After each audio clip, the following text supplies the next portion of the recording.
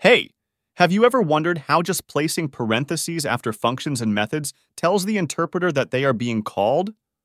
What exactly happens internally when we add parentheses after functions and methods in Python?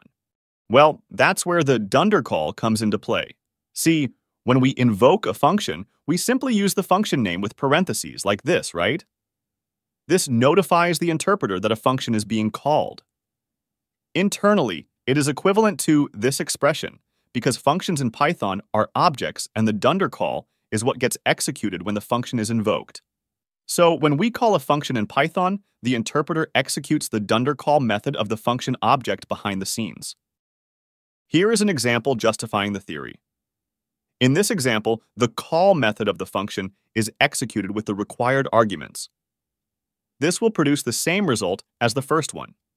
Okay, understood. Obviously, we won't be using it, and who in the world will go for the long syntax, leaving the traditional method. So the question is where should we use it? C. We can make instances of a class callable, like functions by defining the call method. Here's a simple example. By defining dundercall, instances of the greeter class can be used like functions. When we use this, it actually calls greeter.call with the argument Alice. Now let's look at a real-life example where dundercall can be particularly useful.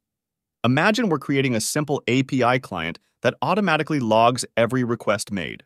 We can use the dundercall method to achieve this. Here, our API client class uses dundercall to handle requests.